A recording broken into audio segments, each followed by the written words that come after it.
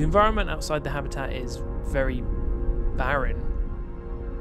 There's very little vegetation, uh, very little in the way of life, really. It doesn't offer the sensory variety that the world back home offers.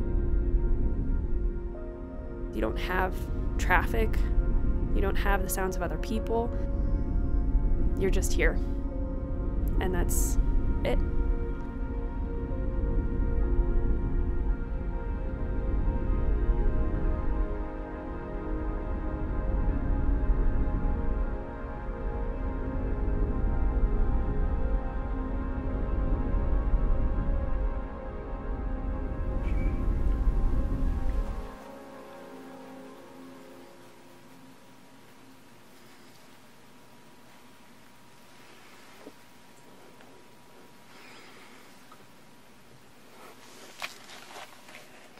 Putting the VR on, uh, having been in here for five months, is strange.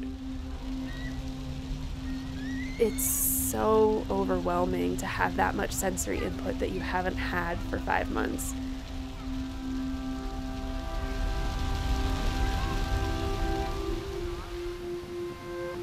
As soon as you put the VR headset on, you kind of really get sucked into this kind of different world and forget that you're in a dome on the side of a volcano. It is sometimes easy to forget where you actually are. And that's a really interesting feeling to sort of be nowhere.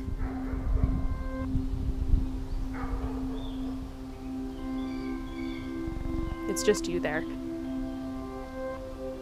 Maybe you're sitting alone in a forest, or maybe you're sitting alone in a city park. You don't have to think about the five other people that you're in the habitat with, and you don't have to hear them or see them. You really get a chance to feel like you're alone. It's just yours. And that feeling is pretty rare because in here, you're never truly alone.